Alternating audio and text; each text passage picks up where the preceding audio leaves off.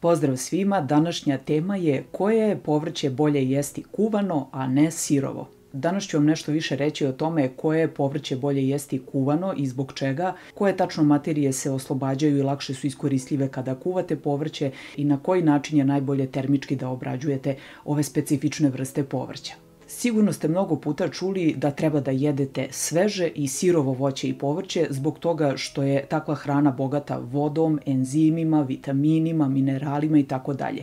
I zaista jeste tako. I ako me pratite redovno, sigurno ste mnogo puta čuli od mene da treba da jedete sirovo povrće kao deo glavnog obroka kada je u pitanju low carb i keto ishrana, odnosno da deo svakog obroka treba da bude i sirova sveža salata od povrća. Neću danas ulaziti u temu koliko zaista je nama dostupno sveže voće i povrće. Vrlo često voće i povrće se ubere zeleno, sazri negde u kamionu, pa onda leži nekoliko dana u skladištu supermarketa ili na policama, pa dok stigne u našu kuću, obično držimo još nekoliko dana to voće i povrće u frižideru ili gde već. Znači, vrlo je upitno koliko takve namirnice imaju hranjivih materija. Ali hajde da zamislimo da je sve savršeno i da ste uspeli da dođete do svežeg voća i povrća, koje povrće je bolje jesti kuvano, a ne sirovo. Sada ćete da vidite. Na prvom mestu je šargarepa.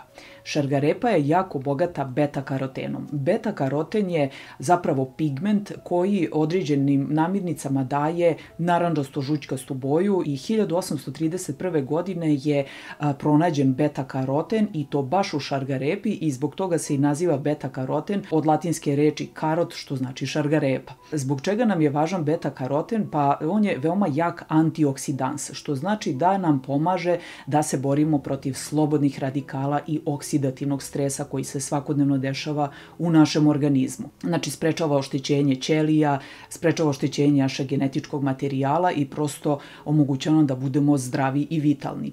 E, kada beta-karoten dospe u naše telo, ono se konvertuje, odnosno pretvara u vitamin A. Tako da može se reći da je beta-karoten preteča vitamina A. Nešto sam govorila o vitaminu A kada sam pričala o masnoj jetri, o tiroidnoj žlezdi i ovde ću samo da ponovim da ako imate kojim slučajem masnu jetru ili imate problem uopšte sa radom jetre, vrlo često se dešava da u stvari imate manjak vitamina A, jer beta-karoten se pretvara u vitamin A isključivo u našoj jetri. Tako da ako imate problem sa jetrom, vrlo često dolazi do manjka vitamina A bez obzira što unosite velike količine beta-karotena. Prosto ne može da se pretvori u tu aktivnu formu vitamina A, odnosno retinol. Zbog čega nam je važan vitamin A? On čuva integritet naše kože, suzokože, pa utiče i na zdravlje kose, ali jako, jako je bitan u održavanju normalnog vida, e, pa mnogi poremeće i vida, naročito makularna degeneracija, pa čak i katarakta, kokošije, slepilo, povezani su sa nedostatkom vitamina A. Ako unesete kojim slučajem velike, velike doze beta-karotena i imate slab rad jetre koja ne može da konvertuje taj vitamin A ili prosto unosite velike količine vitamina A putem suplemenata, pošto je u pitanju liposolubilni vitamin, on može da se deponuje u našem organizmu i ako preterujete sa unosom beta-karotena ili vitamina A, može doći do razvoja toksičnosti baš zbog toga što se vitamin deponuje.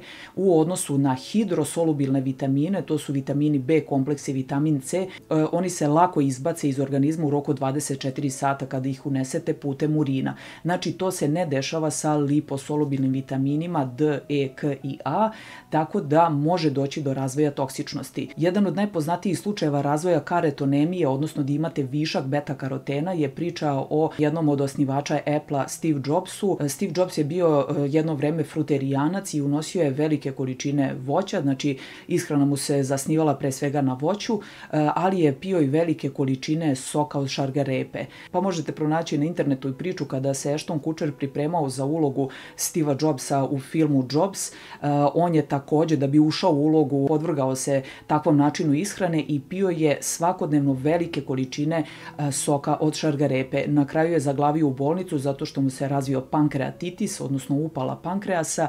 On je bio prestravljen, mislio da će da završi isto kao Steve Jobs. Sreća njegova da se to sve dobro završilo. Tako da je to jedna od najpoznatijih priča da je Steve Jobs u stvari imao karetonemiju i da je bio vrlo prepoznatljiv po toj žućkastoj naranđastoj boji kože. Dakle, ne treba da preterujete sa ogromnim količinama unosa šargarepi ili bilo kog drugog povrća i voća koje sadrži beta-karoten, ali da biste iskoristili beta-karoten na najbolji način, e, šargarepu zapravo treba da kuvate i ne treba da je jedete sirovu. E, zbog toga što je naučno dokazano da se iskoristljivost, odnosno apsorpcija beta-karotena povećava e, za 65% kada jedete kuvanu šargarepu u odnosu na sirovu šargarepu kada je beta-karotena 41%. To je jedan od najvažnijih razloga zašto šargarepu treba da kuvate, a ne treba da je jedete sirovu u smislu da ćete bolje iskoristiti te količine beta-karotena koje se nalaze u ovom povrću. Na drugom mestu je paradajz. Ako hoćete maksimalno da iskoristite antioksidativne efekte a, ovog voća, kako kažu, znači da paradajz je voće, a nije povrće, nije to ni toliko važno, ali je važno da paradajz ima likopen. Likopen je takođe vrsta karotenoida, odnosno antioksidativne materije koja jako moćno štiti naš organizam od slobodnih radikala i oksidativnog stresa. Ako jedete sirov paradajz, iskoristit ćete likopen svega 54%, ali ako jedete paradajz koji je termički obrađen ili koji je, na primer, osušen na suncu, povećat ćete unos likopena za 164%. Termičkom obradom nastaje cis likopen koji se mnogo, mnogo lakše absorbuje i mnogo puta je iskoristljiv u našem telu nego kada jedete sirov paradajz. Tako da ako vam je stalo do toga da povećate unos antioksidativnih materija, treba da jedete uh, kuvani paradajz ili paradajz paradajz, pire uh, i nešto slično. Pored toga što likopen smanjuje količinu slobodnih radikala, dokazano je da smanjuje štetni uticaj insekticida, herbicida, određenih plesni i gljivica koje se mogu naći u našoj hrani. E, takođe smanjuje rizik od gubitka memorije, Alzheimerove bolesti i razvoja katarakte. Definitivno najveće količine likopena pronaći ćete u sušenom paradajzu koji je osušen na suncu. Kažu da takav paradajz u 100 grama ima 46 mg likopena, dok paradajz pire ima duplo manje, oko 22 mg na 100 grama, lubenica ima 4,5 mg na 100 grama, sveži paradajz oko 3 i crveni grep oko 0,5 mg likopena na 100 grama. Sledeći na listi je spanać. Spanać je bogat gvožđem, vitaminom vitaminom C, e, folatima, ali i oksalatima. E, kada je u pitanju termička obrada spanaća, povećat ćete unos folata, odnosno vitamina B9, a smanjit ćete unos oksalata, odnosno e, antinutritivnih materija koji usporavaju apsorpciju minerala u našim crevima. Dakle, jednim potezom rešili ste dva problema. Spanać treba termički vrlo kratko obrađivati, svega 3 do 5 minuta, samo da splasne. Znači, možete ga kratko pržiti na kocki putera, malo maslinovog ulja ili sa malo svinske masti, možete ga kuvati na pari, znači sve su to načini kako zadržavate hranljive materije u ovoj namirnici, a kako smanjujete oksalate, te antinutritivne materije, povećavate nivo folata. Folat ili vitamin B9 je veoma važan u e, normalnom razvoju eritrocita, odnosno naših e, crvenih krvnih zrnaca, kosne srži. Veoma je važan u stvaranju, odnosno sintezi našeg genetičkog materijala, DNK i RNK i otuda je preporuka trudnica trudnicama da unose folate i pre trudnoće i za vreme trudnoće da bi obezbedili normalni rast i razvoj ploda. Ako potapate spanać u vodu i kuvate ga dugo u vodi, na primjer više od 7-8 minuta, smanjit ćete količinu folata za pola. A ako ga kuvate na pari 4-5 minuta, dovoljno znači samo da splasne i da se smežura, nećete izgubiti uopšte folate u toj biljci što je jako značajno. Spanać je izvor i gvožđa i drugih vitamina B kompleksa, znači definitivno treba da bude deo zdrave ishrane, ali važno je naglasiti da ako jedete sirov spanać, da to uvek budu oni mladi listovi bebi spanać jer on ima manje oksalata u odnosu na stari spanać. Sledeća na listi je špargla. Špargla je jako bogata vitaminima A, C, E i folatima. Ova biljka ima debele ćelijske zidove, e, zbog toga je mnogo bolje obraditi termički šparglu da biste lakše došli do tih nutritivnih materija. Kada sam pričala o beta karotenu, samo sam zaboravila da pomenem i bundevu.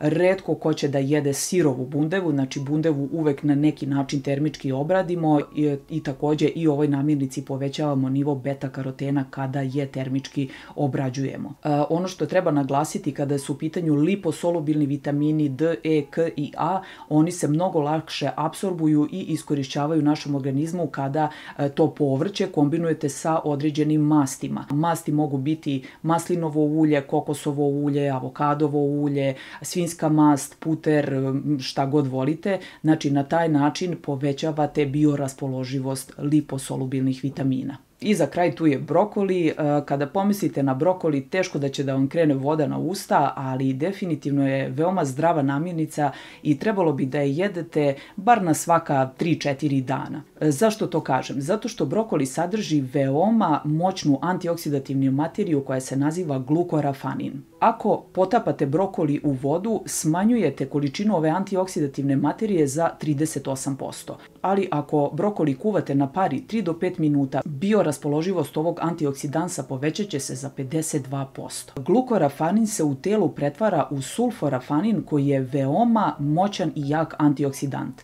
I naučnim istraživanjima je utvrđeno da kada unesete ovu antioksidativnu materiju u telo, taj njen antioksidativni efekat, odnosno efekat da smanjuje količinu slobodnih radikala i oksidativnog e, stresa u telu može da traje do 3 dana. Zato sam na početku priče o brokoliju rekla da bi trebali da jedete bar svaki treći dan da biste imali dovoljno ovih antioksidativnih materija u organizmu. Glukorafanin zapravo povećava količinu enzima u jetri koji štite naš organizam, odnosno stvaraju veliku količinu tih antioksidativnih materija koji prirodno nastaju u našoj jetri. Takođe, ovaj sastojak možete pronaći i u slačici, odnosno senfu, kao i u crvenom kupusu. Čak kažu da u crvenom kupusu ima više glukorafanina nego u brokoliju. Dakle, ovo je šest vrsta povrća koje biste trebali da jedete kuvano, a ne sirovo i najbolje bi bilo da ih obrađujete na pari. Dakle, to je šargarepa, paradajz, spanać, špargla, bundeva i brokoli. Eto, dragi moji, nadam se da ste naučili nešto novo. Do sljedećeg videa. Pozdrav!